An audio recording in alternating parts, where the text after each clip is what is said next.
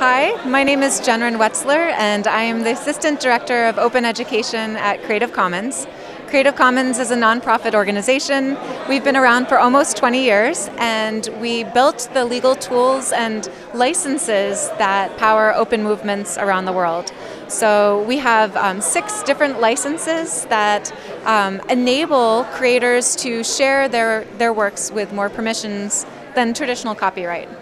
Um, one of the projects that I have the privilege to work on at Creative Commons is called the CC Certificate Course.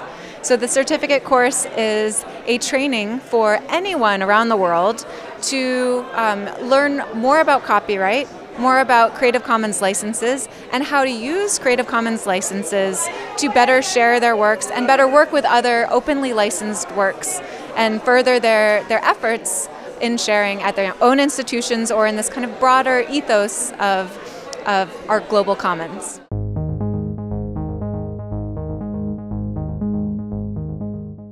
So the course is open online. It's, um, it's offered in English. We just uh, launched our first translations of the course content actually this week, yesterday.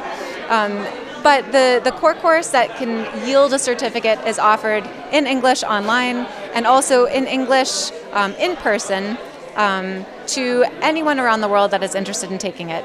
We have two course tracks right now, but really we've seen a wide range of individuals joining the course. So whether they take the, the track for educators or the track for academic librarians, um, we've seen participants from every field, from architecture to um, we, some lawyers have taken the course to other other domains.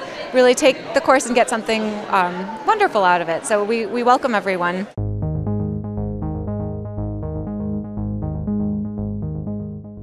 Um, when people um, successfully complete the certificate course, they become the um, often the experts in their institutions that their colleagues will come to for um, ideas about open licensing and advice on Creative Commons licensed works and, and so on. So the certificate is not in, in place of um, a law degree by any means, but it does offer really um, wonderful capacity building in open licensing. So we hope you all will, um, will feel free to take it. We look forward to working with you.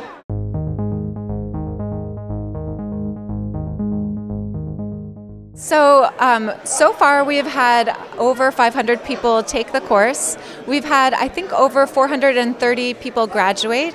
Um, each course is broken down into 25 person classes, and then we run multiple classes at once. So for the online course, we offer um, January courses, uh, June courses, and September courses, but we also offer an in person training that we coordinate with institutions and that timing is more flexible. It's up to the institution schedule and up to our facilitator schedules.